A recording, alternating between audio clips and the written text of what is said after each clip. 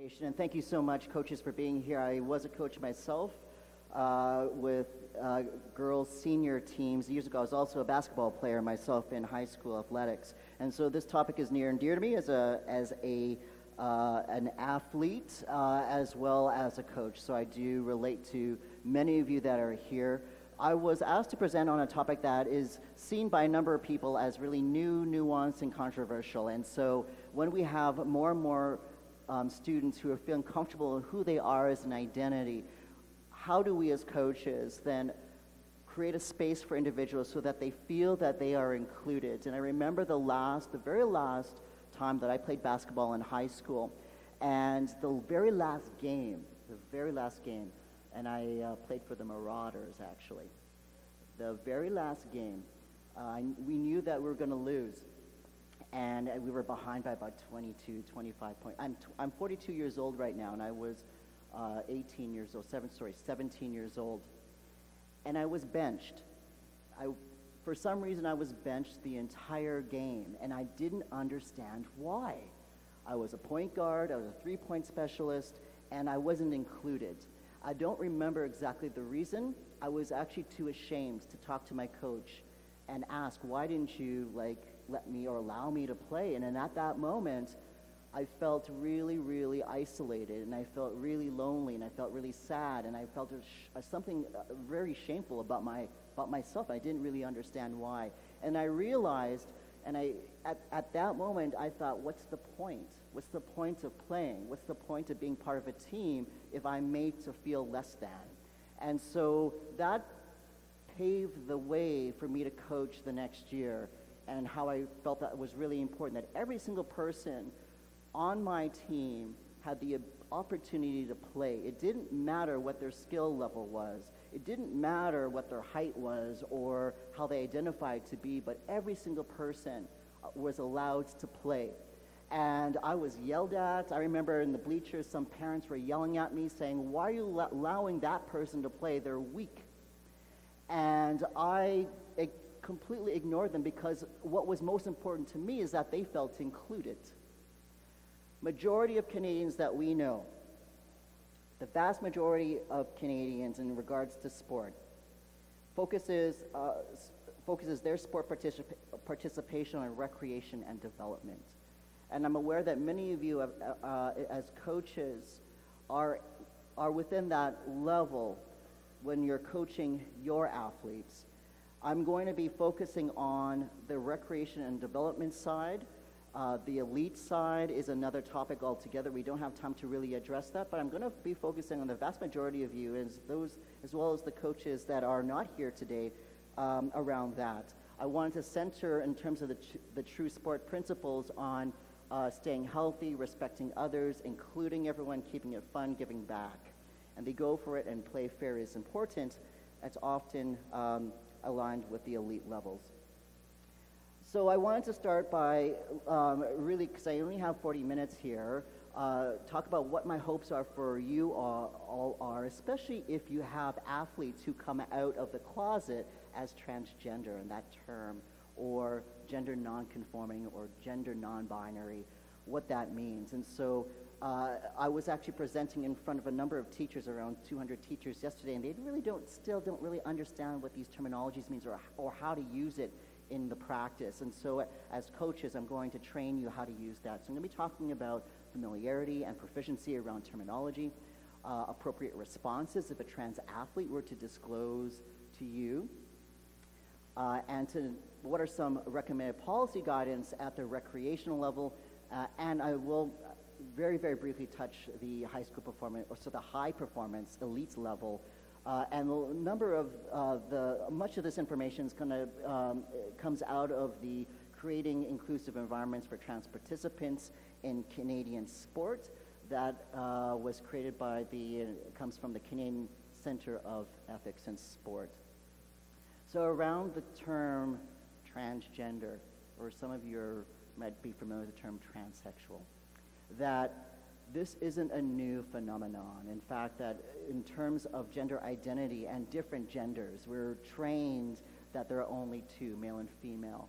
But we do research that there are many, many, many genders that have existed that have been essentially wiped uh, because of colonization and other systems that I'm just putting a few up on the screen right now from different countries. I did some work with the World Health Organization in terms of uh, really investigating gender. And even in my home country of the Philippines, before colonization, Spanish colonization, we had many genders actually, and we didn't even have pronouns, he and she, that we're familiar with. We were just kind of just went by our names. And so this is a resurgence of understanding that this is a, not a this isn't a new phenomenon. This is something that has always existed. And so knowing that we all have a gender identity and knowing that there are many genders that exist, how do we create environment and space so that people feel included rather than excluded? I've brought my genderbread person to help with understanding some of the terminology. And so for a number of you, as well as individuals that I do teach, oftentimes the question is, how do, I don't know what terms to use, and I don't want to offend people. So how do I work with the terminology? What is really important is that we unpack this a little bit because there is a lack of understanding, a little bit of anxiety, actually a lot of anxiety for some people when it comes to sex or bioanatomical sex and gender. We often conflate it, but we need to unpack that a little bit. So I'm bringing my genderbread friend to talk about the differences. When I talk about sex, I'm talking about bioanatomical identity, the body. And the components of that are the chromosomes, the gonads, the sex hormones, reproductive anatomy, and external genitalia. And there are variations. What we're mostly familiar with is the bioanatomical makeup of a male and female. But there are individuals who, whose bioanatomical makeup is atypical or might not be seen as the majority, also known as intersex people. That's the newer term, the newest medical term that replaces the term hermaphrodism or hermaphrodite. But we do have anatomical differences. Some people do. You may not know it. In fact, I mean, for some people, it comes down to chromosomes and hormones and genitals. We are not investigating people's genitals when we are coaching our athletes. We're not asking them to prove who they are by showing us their genitals. We're not asking that. We trust that individuals who sign up for the teams identify how they identify, and we go with that. So that's what I mean by sex. Most people, their sex and gender align. So sex, I'm talking about the bioanatomical makeup. Gender is gender identity is about our internal self-concept, how we see ourselves as male and female, or maybe something else altogether that doesn't fit that binary. So for majority of us, if we are bioanatomically male, we, our gender identity most likely will align as male, and same with those who are bioanatomical females whose gender identity aligns with being female. However, there is a segment of our population that that alignment uh, is actually um, misaligned or is not congruent. And so trans means to cross. If our sex and gender crosses, that may be some kind of form or spectrum of being transgender or trans or gender nonconforming. If our sex identity and gender identity align, that's called being cisgender. All of us have a gender identity. We're either cisgender or transgender. I'm using the terminology, terminology of today. Either a cis male, cis female, if you're cisgender, or trans male or trans female or gender nonconforming of some varying degree. And so, again, we need to separate sex and gender identity. Majority of us are aligned. However, there is a segment of the population where it's crossed. So the question then is, how do we include trans people? I'm going to invite us to think about how to include rather than how to exclude. There's an elephant in the room that I'm going to be talking about a little bit later called competitive edge, the competitive edge, which when it comes to trans athletes, how do we include them and then unpack this, this, under, this kind of fear, I guess you could say, and anxiety of the competitive edge. And I'll talk about that a little bit later. So um, gender expression is how we communicate our gender. Right? So, and that what we call is a, a, cultural manifestation. Just because someone's outward appearance or how they express themselves is a way, a certain kind of way, oftentimes we kind of default to stereotypes. So, if a male expresses himself femininely, we might stereotype him as being gay. Or if a woman expresses herself masculinely, for example, you know, at the back in the day, if she were to play basketball, she might be assumed to be a lesbian, right? We can't really make those assumptions because it's when we think about gender expression, it's really a kind of this made-up construct, pink and blue. Pink is assigned girls, blue is assigned boys, but historically pink was actually a male color, and then it shifted. And when I um, express, how I express myself today, and maybe in North America, might be seen as effeminate, but if I go to my own country, it's seen as masculine. Right? So there, we can't make the assumptions uh, about just because someone expresses themselves that they are a particular sexual orientation, uh, and we, just because someone presents themselves to us, we really don't know unless they tell us or declare what their gender identity is. Some people can't come out with their gender identity because of repercussions, fear, stigma, discrimination, et cetera, et cetera. Orientation, again, as I kind of talked about, orientations in the heart's about attraction. So in terms of my genderbread friend, that gender is, sex is our bio, bioanatomical makeup, gender is between our ears, our internal sense of self, attraction is in our hearts. And we often conflate and confuse all of these concepts. So that's my, um, uh, that's my little demonstration in terms of terminology. Uh, it becomes, of course, more complex depending on uh, who you are, depending on culture, uh, understandings, uh, exposure, so there are some nuances there. At the end of the day, it is a fundamental human right for everyone to be recognized in the gender in which they identify. It is your fundamental right to um, identify how you identify. For us to take away someone's gender identity is in contravention of human rights but also what do we do in terms of what's the impact to the dignity of the athlete if they say to us, I identify as male, and I say, no, you're not. What does that mean for them? And what is that, how does that impact their mental health?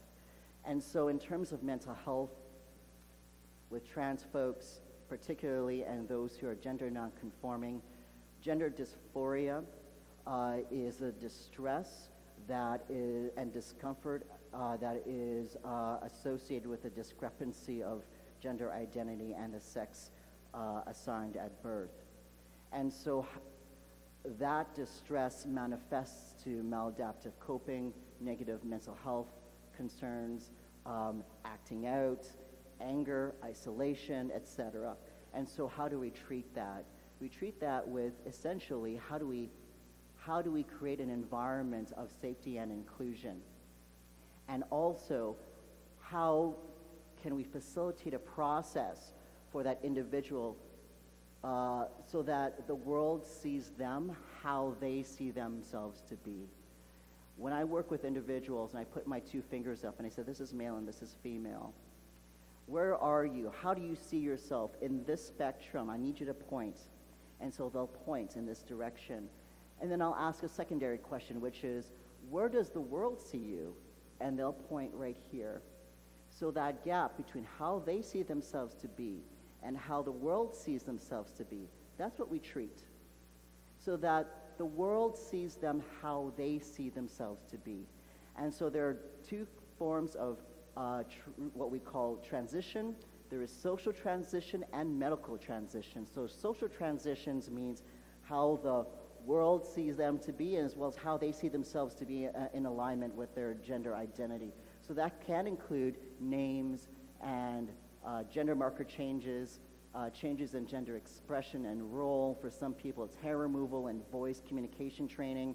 Uh, for others, it's about hormone um, suppressors and or replacements. And for others, it means surgery. But not all individuals feel that they need surgery, that maybe they're uh, dysphoria isn't about genitals, but maybe it's about the social um, realms or uh, their name or their pronouns. So it, we can't jump again to the assumption that not everyone, not everyone's going to um, take hormones or feel that they can take hormones, or they're not going to. Not everyone is going to opt for surgery because maybe surgery isn't right for them. So there's lots and lots of variations.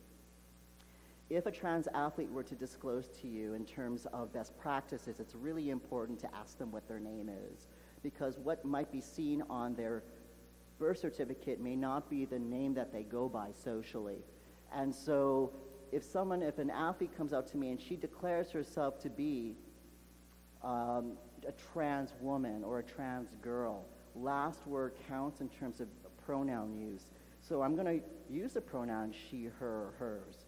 If she identifies as a woman, I'm going to treat her as one in terms of pronouns. Same thing with a, with a boy or a man. If he comes out to me and says, you know, I'm, I'm trans male, my default pronoun is going to be him or his.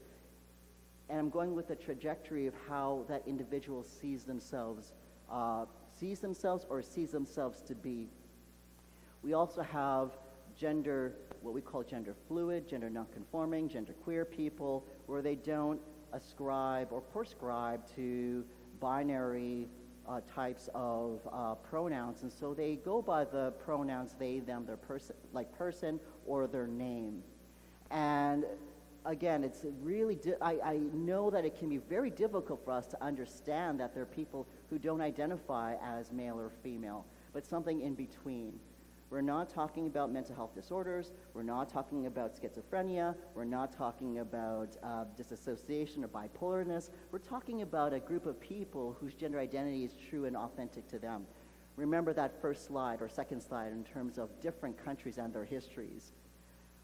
I'm going to invite you to exercise your mind to stretch a little bit more that there are possibilities out there, that there are possibilities and there are realities that, that multiple genders exist. So in terms of how we use these kind of gender neutral pronouns, this is an example that I often use in workshops. So meet Jess, she aspires to be a teacher. Actually, I did a teacher's um, workshop yesterday, so I used this, the same uh, example. Uh, she, she aspires to be a teacher. Upon graduation, she intends to take a year off to save money for her tuition. Her locker is down the hall to the right. So if I were to, if she came out to, or what I assumed a she says to me, you know what, I don't identify as a she, I actually identify as genderqueer. I appreciate that you use gender neutral pronouns. If I were to rewrite this example, it would look like this. Meet Jess. Oops. This is the wrong one. Sorry. I'm going to do this again. Meet, uh, sorry. Meet Jess. They aspire to be a teacher. Upon graduating, they intend to take a year off to save money for their tuition. Their locker is down the hall to the right. Sorry, that's a little bit of an editing error there. So how I used the terminology was really just replacing her with them or they. And so I'm sorry that it, that wasn't reflected there, but uh, in the, um, uh, the PowerPoint that uh, it will be accessible for all of you with the correct uh, terminology. In terms of other gender affirming practices and how to use uh, uh, pronouns, to use the gender, use their, gender, their, their current gender identity, including references to the past. So before Daniela transitioned, she identified as a female as early as five years old. I didn't use before Daniela transitioned, he identified as a female as early as five years old. I already know what Daniela was. I don't need to remind. And, and if, if I told you Daniela's situation, if you were Daniela's coach, and I said Daniela transitioned, I don't need to remind you what Daniela was. I already just told you. And so in terms of how, respecting how this person sees themselves to be, I'm going to keep going with what the trajectory is and how they see themselves to be. In terms of body parts and anatomy, use appropriate pronoun references aligned with their current gender identity. So he has been experiencing higher levels of anxiety since his chest has started to develop. Notice how I use the term chest. I didn't use the term breasts because that's not how he sees himself to be. And so, again, I'm using terminology that is appropriate uh, uh, with his gender identity. So, even with cisgender males who might have what's called gynecomastia or uh, extra tissue, I'm not going to say your breasts. I'm going to say your chest. And so, in terms of appropriate language, it's a, appropriate and respectful to use language according to that person's gender identity. So, this is not just about trans folks, this is about all of us as well. In terms of the legal name versus the social name, I'm going to invite us all to use the name that, it, that uh, with what the athlete goes by, and only in legal documents where the legal name is reflected. So if there is a legal document, yeah, we, we may need to, or for example, health document, we may be required to use their legal name if it's not what they go by. But it doesn't mean I'm going to not address you by the name that you tell me that you are, even though it says something different on that person's documents. Again, this is about inclusion and how can I create a space for individuals where they feel that um, they're not ostracized or othered. In terms of inclus- other inclusive practice considerations, we need to think about registering an athlete. And these are the issues, registering the athlete and, the, and disclosure. So who do they tell? If they tell you that they're trans, do you then have a duty to tell everybody else, right? So we might be talking about then PHIA or FIPPA violations. And so if this is a health issue or concern, if this person sees their surgeries or their hormone treatments as a health issue, our responsibility is to uphold their, their privacy as well as the law and policy regard, regarding um, their health status. Access to washrooms and change rooms are also a concern for trans athletes. And there are trans athletes who have come out and are in, fully integrated in uh, sports that are all male or all female. It's a matter of accommodations that, that uh, actually quite simple. It's really asking that individual or individuals, regardless whether they're trans or not, what feels most comfortable, what feels most safe for you. Again, centering ourselves on when we're, when we're working with athletes, we're at the development and recreational side of things, not the elite level for majority of us. And then there's extra uh, jurisdictional participation, meaning if your athletes are going out of city or out of province, what does that mean in terms of inclusive um, practice considerations? What I encourage coaches to do is to be is full disclosure that yes, name that person. For example, I'll just say uh, Alex. You know what? I really respect who you are, and, and of course, you know, um, we want to include you. But when we do actually go out of province, that the rules might be a bit different. We will do our best to make sure that you feel comfortable and you feel included like you do with the team, but know that there might be a situation where you might not be able, or we might not be able to be able to accommodate, and we know that we're going to do our best. And that that disclosure and that truth telling means a lot to that individual because they know that you have their back. The one thing that I want to bring up that is the big elephant in the room is what's called the competitive advantage. So I hear it in media in terms of, well, if this person is on hormones, if this person's trans, if this uh, person who's a trans woman is now on the women's team, does she have a competitive advantage because of her bioanatomical makeup?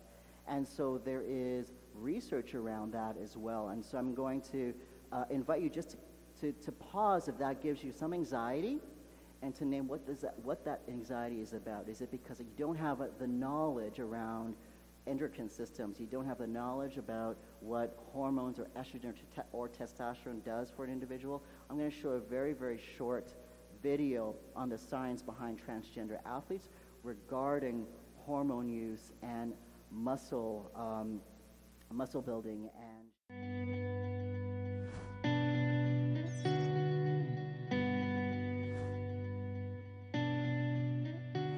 The biggest difference between men and women vis-a-vis hormones is testosterone level. Male testosterone levels are about 10 times female testosterone levels. So if we have a transgender woman who goes from having a male level of testosterone to a female level of testosterone, her muscles are going to be shifted in an enormous way.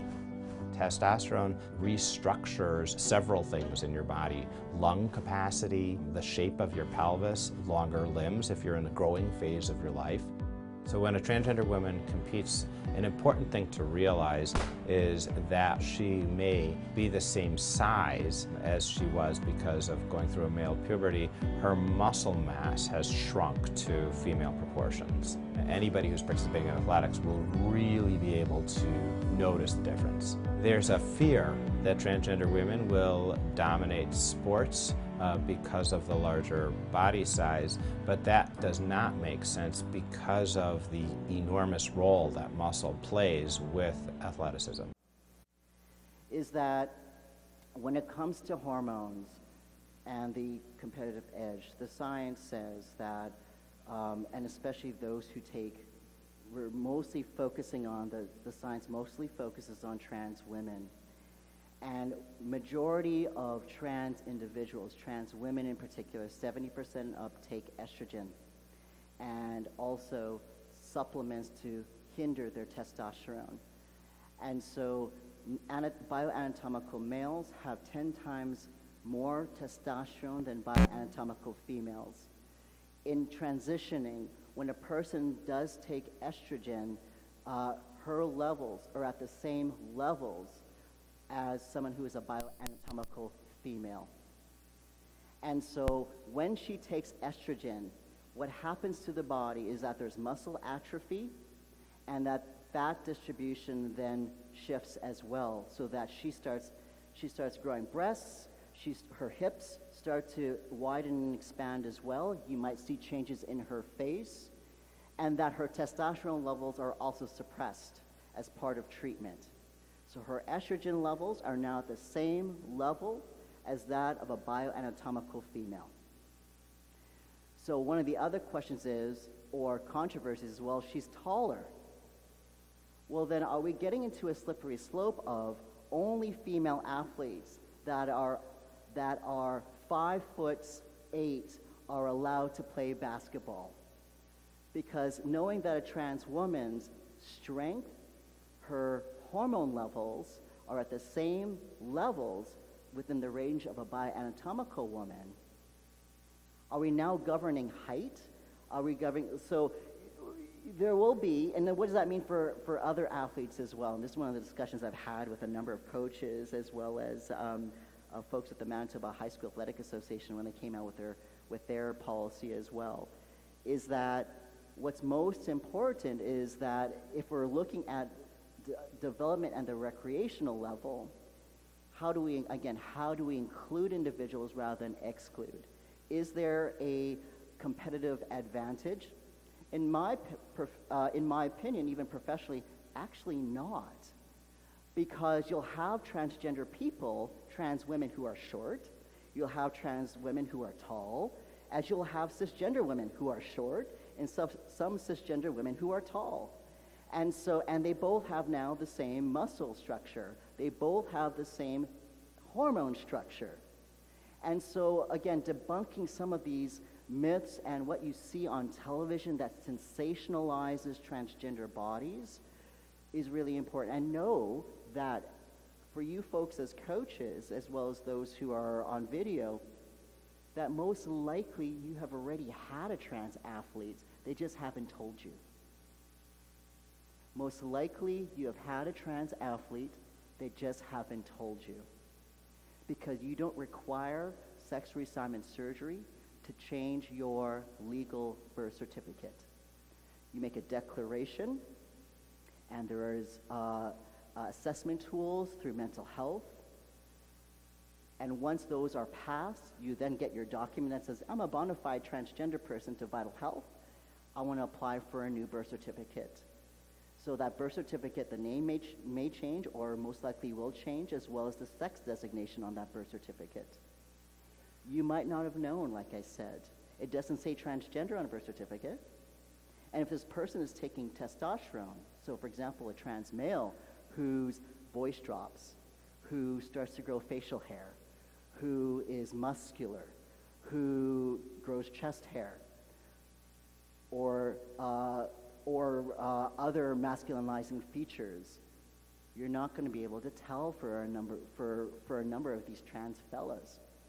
So uh, how I know that there are trans people already playing basketball is because they disclose to me as a professional that they're playing basketball. They just haven't told you. And some of them are short, and some of them are tall, and some of them are really, really muscular, and some of them are really, really thin. And so there's lots of variations, as many of us. So know that trans people are already within, your, within the presence of your of, of, of, of, of athleticism. So kind of drawing again on the center, uh, the Canadian Center uh, for Athletics and Sports, I want to um, just kind of brief you in terms of um, uh, talking about, again, tra- locating trans people in your, in your coaching uh, and talking a little bit about the uh, policy approach and development based on long-term, the long-term athlete development model. Are many of you here familiar with the long-term athlete development model? Okay, for those who are not, uh, it, what, it, what it is is that it is, um, it helps with the application of policy and it also aligns with what we know about uh, developmental skills of individuals. And so I'm just going to allow you to look at that as I speak a little bit. Um, I'm going to speak about the, the first four, which is mostly what we're kind of dealing with. Again, um, from the International Federation rules, the, the last two. And we don't, again, have enough time to deal with the last two. So in terms of the uh, policy approach, if we could center ourselves, again, that uh, we're talking about developmental of basic movement skills, acquiring sport skills, uh, developing capacities to progress, as well as participating in sport lifelong, that including trans athletes is pretty straightforward. There isn't a requirement, for example, of certain bodies to change. There isn't necessarily a requirement for hormone intervention. There isn't necessarily a requirement. So again, it's the um, if we look at it from an inclusion standpoint, if someone comes out to us as trans and they are uh, a girl between the ages of 8 and 11 and she comes out to us as transgender, that what's most important from a long-term athlete development model is that we're, you know, A, she's in this in the dimension or the phase of acquiring sports skills, we're still going to teach her sports skills. We're not going to necessarily center her transness. We're still going to teach her sports skills because she still wants to play basketball. That's not going to, and how, so again, it's one of these things where maybe someone is sharing with us some information about their identity for whatever reason, uh, and we negotiate what, what the reason is. Are you telling me because you feel unsafe? Are you telling me because uh, you're feeling bullied? Are you telling me because you need special accommodation? Or, sorry, not special accommodations, additional accommodations or changes in accommodations, then we just negotiate that. I think when it comes to trans athletes and the controversy, and putting this in quotations of trans athletes, is that we have a lot of anxiety about things that we're not aware of. And we have anxiety about change. And we have anxiety that this is maybe a difference in one of your athletes that you're just either unfamiliar with, um, maybe don't have a lot of exposure to, or um, your only understanding is what you see in media, how it's sensationalized. If we are looking at the long-term athlete development model, model as a way of building character, as a way of building independence, as a way towards healthy lifestyles and healthy living, we're on the right track because uh, studies have come out where, where individuals are excluded, that their mental health is deteriorated or they are vulnerable. And when I pluck some of the data from the Saskatchewan and Manitoba study on trans youth, that when we look particularly at the last uh, bullet points where 50% have attempted suicide and 30% engaged in self-harm behavior, and we ask these youth, how did you get there? Not why, but how did you get there? And they talk about exclusion. And they, they talk about um, withdrawing from friends because they're not included in sports, as an example. Withdrawing from uh, talking about their feelings because they are stigmatized or they've been discriminated against. And so we play a vital role as adults in their lives as being the examples of inclusion. Again, going back to the very, very second slide, that this isn't a new phenomenon. To know that we have their back, to know that they have a place in sports, when we know that a number of trans youth opt out of gym class, out, opt, uh, opt out of playing sports because they feel they're going to be bullied and their coaches will not have their backs.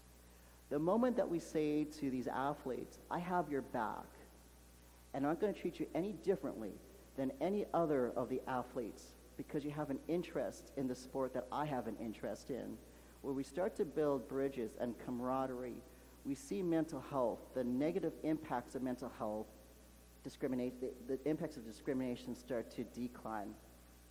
So in terms of sticking with the recreational development um, side of sports, in terms of a guidance, guidance principle, individuals, I'll just read this out, individuals participating in developmental and recreational sport should be able to participate in the gender in which they identify and not be subject to requirements for disclosure of personal information beyond those required of cisgender athletes. So treating everybody equally when it comes to disclosure of health. Nor should there be any requirement for hormone therapy or surgery. So if I'm saying to this eight-year-old, you can't be part of my team until you take hormones, is in contravention of human rights. I can't make her take drugs in order to be part of my team. If she wants to be part of my team, or if he wants to be part of my team, they'll be part of my team. And that's what they're going to remember. Many of us, and you as coaches who may have played basketball, remember the feeling. May, we may not remember exactly the details, but we remember the feeling of camaraderie. Remember the feeling of being included. We remember that feeling of team spirit in all of our differences. We also may remember being benched we also remember when we aren't given equal time to play. And that, those memories carry um, a lifetime throughout the, our lives. In terms of uh, a pathway for um, disclosure, meaning if someone were to come out to you, what do you say? What can you do? The first thing I'm going to encourage you is really just follow their lead. And there are six points that I just wanted to highlight. So if a trans athlete were to come out to you, What's so important is acknowledging that disclosure and validating that disclosure because they trust you. They trust me. They feel safe with you as they feel safe with me. And so affirming that disclosure is so incredibly important. Thanks for letting me know that you identify as a male or that you identify as a female or that your name is this or, your, or that. Who else knows? Just so I'm aware and starting that dialogue. But I also going to tell them you don't have, tell that person or at least share with that person, while you have told me and maybe you told your teammates, you're not obliged to tell anybody else. If you feel that that's important to you, I'm going to support who you tell and who you do, don't tell. And I'm going to ask their name and pronoun in terms of if they go by another name or what their uh, pronoun is, or maybe they've already said what their name is and they, they're ready on my team and they're just saying, hey, I just this is just an afterthought, but I just want to let you know that I'm trans. And if Alex comes up to me and she said, you know what, I transitioned years ago, I'm going to say, okay, Alex, I mean, is there another name or is this the name that you already go by? Yeah, she's going to say, I go by Alex. I'll say, okay, fine. And I'm not going to make a big deal of it. I'm just going to keep on going. Knowing uh, that mental health is vulnerable for a number of people, I'm going to ask how things have been since they've come out to their, to whoever they've come out to. If they said, you know, actually, majority, like all the girls actually know that I'm trans. I'm going to ask them how that go for you. Um, how, how have things been with uh, your teammates since coming out? And again, having that um, discussion.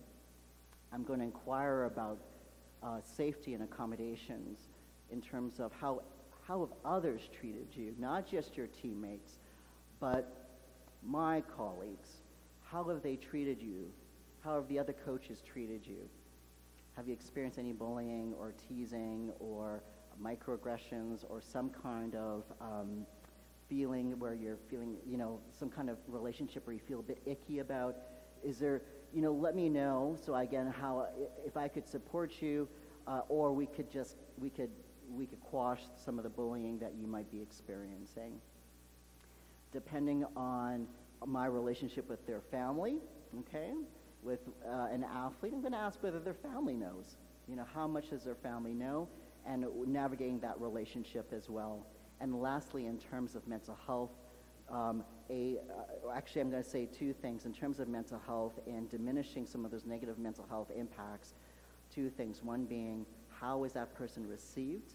Talking first reactions, and secondly, um, are they connected to other supports?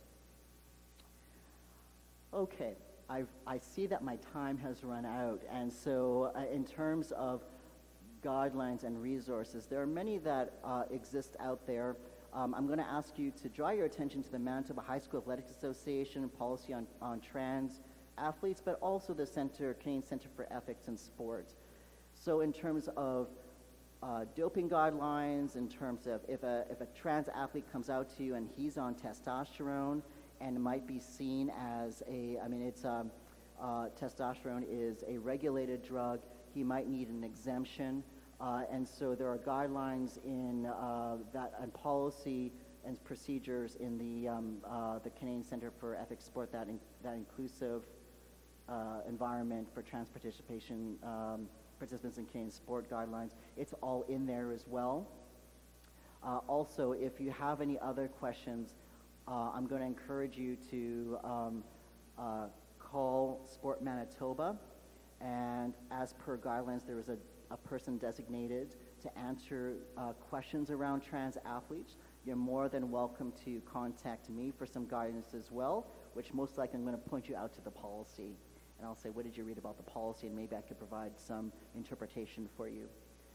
Uh, that being said, I wish you all the best as coaches. Um, it, what an exciting role that you're in. You're a mentor.